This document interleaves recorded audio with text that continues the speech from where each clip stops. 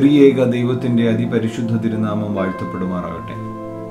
യേശുക്രിസ്തുവിന്റെ മാറ്റമില്ലാത്ത വചനങ്ങളിൽ കൂടി നമ്മുടെ ഹൃദയങ്ങളെ ഓരോ നിമിഷവും ചലിക്കണം എന്നുള്ള ബോധ്യത്തിൽ നടത്തപ്പെടുന്ന ക്രിസ്തു സൂക്ത ദർശനം എന്ന ധ്യാന പരമ്പരയുടെ എഴുപത്തിനാലാം ദിവസത്തിലേക്ക് എല്ലാ പ്രിയപ്പെട്ടവർക്കും സ്വാഗതം. നാം വായിക്ക് കേൾക്കുന്ന വേദവാക്യം വൈക വൈകുന്നേരം വരെയെങ്കിലും നമ്മുടെ മനസ്സിൽ ചെറുതായ ചില ചിന്തകൾ ഉണ്ടാക്കട്ടെ എന്ന് ആത്മാർത്ഥമായിട്ട് ആഗ്രഹിക്കുകയാണ്. ഇന്ന് നാം ധ്യാനിക്കുന്ന വേദഭാഗം ചുതുമുള്ള മത്തായ സുവിശേഷം പന്ത്രണ്ടാം അധ്യായത്തിന്റെ ഇരുപത്തി ആറാമത്തെ വാക്യം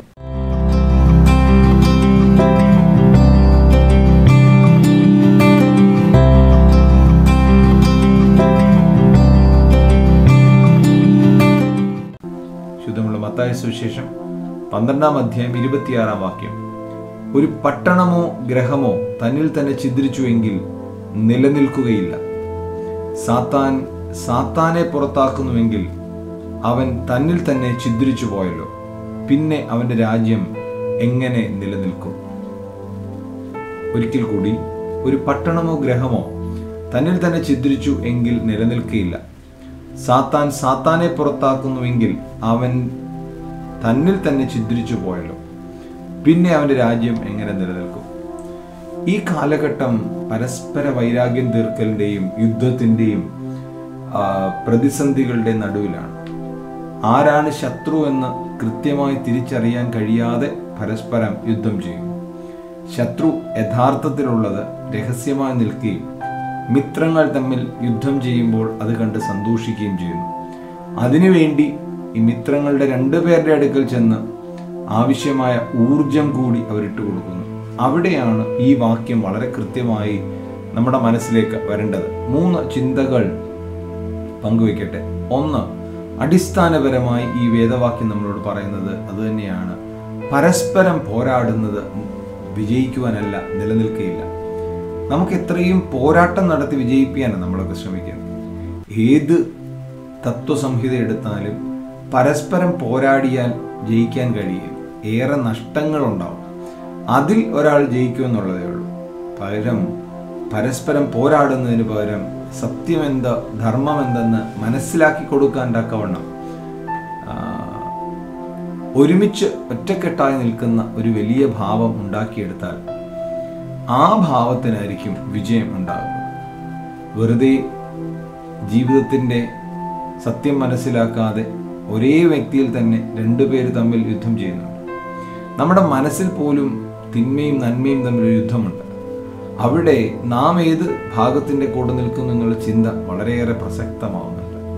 സഹോദരങ്ങളോട് യുദ്ധം ചെയ്യുമ്പോൾ നാമും അവരുടെ ശരീരത്തിന്റെ ഭാഗമാണെന്ന് ചിന്തിക്കാതെയാണ് യുദ്ധം ചെയ്യുന്നത്. നിലനിൽക്കുവാൻ കഴിയുകയില്ല. രണ്ടാമതായി ഈ വേദഭാഗം പറയുന്നു അന്യന്റെ ബുദ്ധിക്ക് വഴിപ്പെടരുത്. അന്യന്റെ ബുദ്ധിക്ക് വഴിപ്പെടരുത്. കാരണം ഈ ഛിദ്രങ്ങളെല്ലാം ഉണ്ടാക്കിയെടുക്കുന്നത് അന്യനാണ്. സാത്താന്റെ പ്രേരണയാണ്. ആ പ്രേരണയ്ക്ക് നാം വഴി വഴിപ്പെടുമ്പോഴാണ് അന്യന്റെ ബുദ്ധിക്ക് വഴിപ്പെടുകയും നമ്മുടെ ജീവിതത്തിന്റെ വിജയം ആഗ്രഹിക്കാത്തവൻ നമ്മെ നിയന്ത്രിക്കുകയും ചെയ്യും.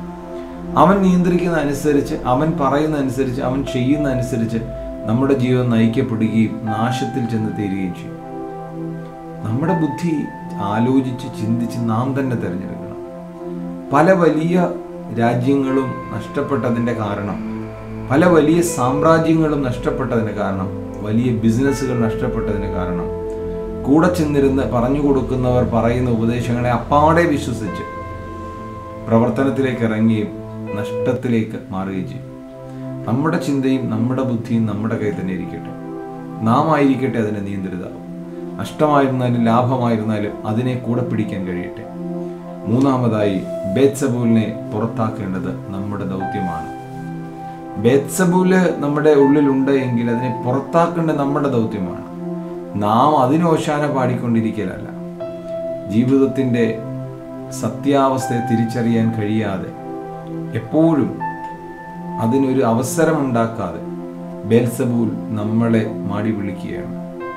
ആ മാടി വിളിക്കുന്നത് നമുക്ക് നൽകാവുന്ന എല്ലാ സുഖങ്ങളോ സന്തോഷങ്ങളോ ഒക്കെ താൽക്കാലികമായി നൽകിക്കൊണ്ട് തന്നെ. അതിനെ സ്വീകരിച്ചുകൊണ്ട് വഴക്കുണ്ടാക്കുന്നവൻ. ബെച്ചബൂൽ എന്ന വാക്കിന്റെ അർത്ഥം പോലും അങ്ങനെയാണ്. വഴക്കുണ്ടാക്കുന്നവനാണ് അതിനെ സ്വീകരിച്ചുകൊണ്ട് നാം ഒരു വെച്ചപൂലായി മാറി ലോകത്തിൽ പ്രതിസന്ധികൾ ഉണ്ടാക്കി ഒന്ന് മാറി നിന്നുകൊണ്ട് ചിന്തിക്കാൻ കഴിഞ്ഞാൽ ഒന്ന് മാറി നിന്നുകൊണ്ട് നോക്കാൻ കഴിഞ്ഞാൽ സത്യാവസ്ഥ തിരിച്ചറിയാൻ നമ്മളെ കൊണ്ട് സാധിക്കും.